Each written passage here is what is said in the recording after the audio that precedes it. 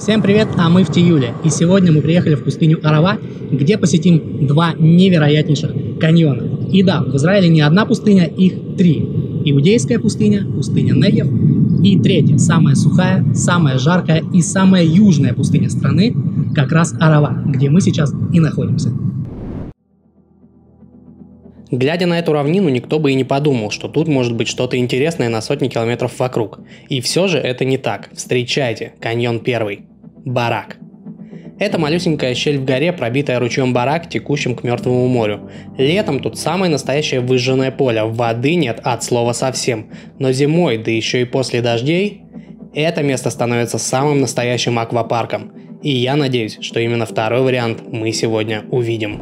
Ливни прошли совсем недавно, но я надеюсь, грязь уже успела осесть. К тому же некоторые сайты писали о возможной опасности затопления.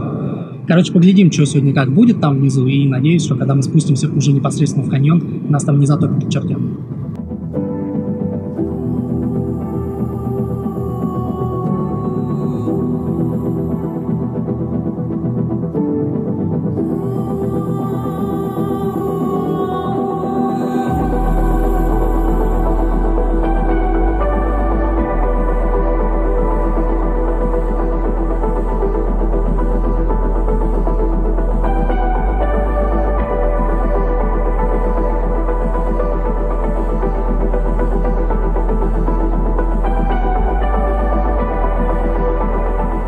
Еще раз повторюсь, это одно из самых засушливых мест Таравы. За год тут выпадает минимальное количество осадков. Иногда может и ничего не выпасть. Так что, ловя момент после дождей, мы надеялись поплюхаться в эти бассейны. Но, увы, удача отвернулась от нас сегодня.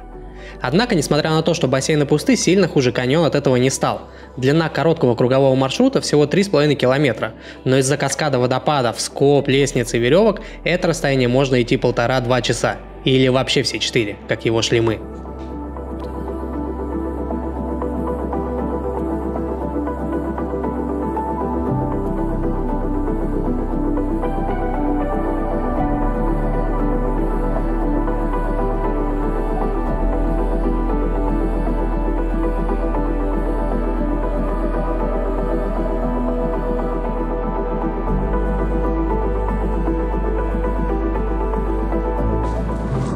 Это особенное место.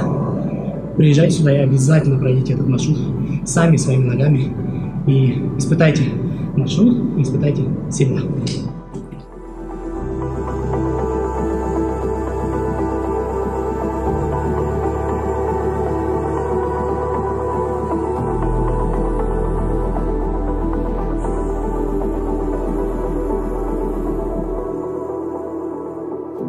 Почва вокруг нас достаточно мягкая, именно поэтому вода и смогла пробить весь этот путь.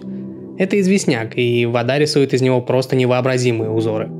Пожалуй, если есть в этом мире самая дорогая и красивая лепнина, то она находится здесь. Была создана скульптором природой, и ее нельзя купить в свой особняк, будь он в Геленджике или Межигорье, ну вы поняли, ни за какие деньги.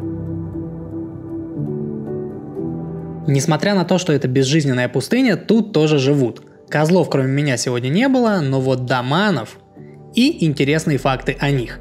Первое. Неуклюжие и часто падают со скал. Второе. С иврита Шфан Слаим переводится как «скалистый кролик». Третье. По легенде Даман стал прообразом советского чебурашки.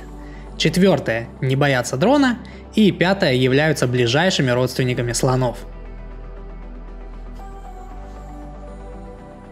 Если глядя на все это вы загорелись сюда попасть, то вот инфа конкретно для вас. 40, 25 и 90 трассы – это ваши друзья.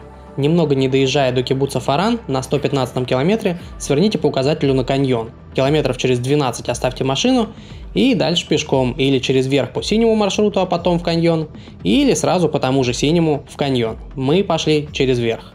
В заключение добавлю, что наравне с каньоном Вардет это два самых бомбических ущелья в стране. Э, к каньону Вардет мы обязательно вернемся, но в другой раз. А сейчас переходим к третьему каньону на плато Фаран, которое зловеще называется каньон Ада.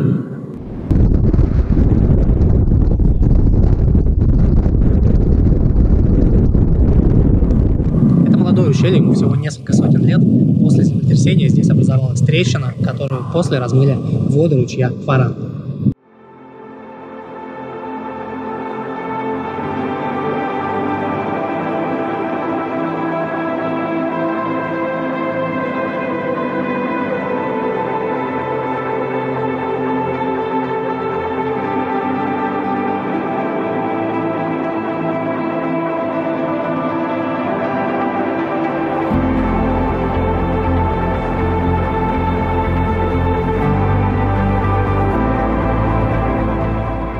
Ну а теперь к самому страшному. Почему же ада? Каньон находится рядом с трассой 13. Его длина 666 метров. И в конце ущелья находится колодец ада, из которого каждую ночь слышны звуки, похожие на стон умирающего. И это не может объяснить ни один ученый. Шутка. Все это я только что выдумал. Кроме первого, 13-я трасса действительно рядом, но каньон находится не на ней, а на 40-й.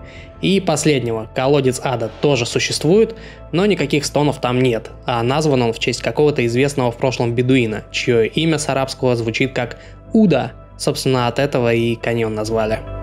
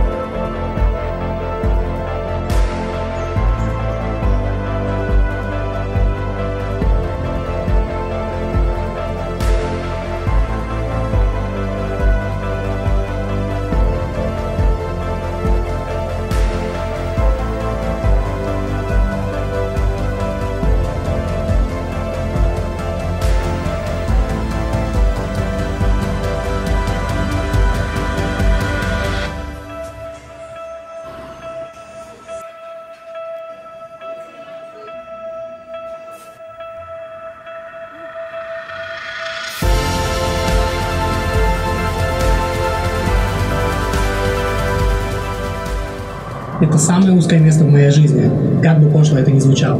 Если у вас клаустрофобия, то лучше просто смотреть на экране, как тут корячусь я.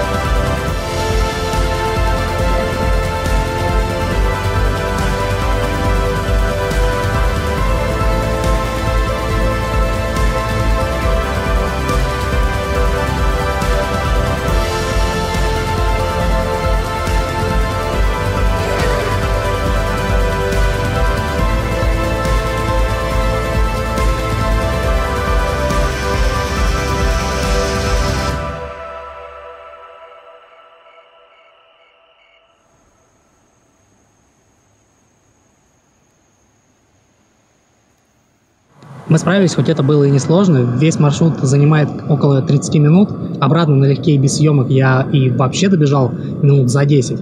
Но заряд адреналина здесь вы получите совершенно точно. Увидимся с вами очень и очень скоро. До скорых встреч. Пока-пока.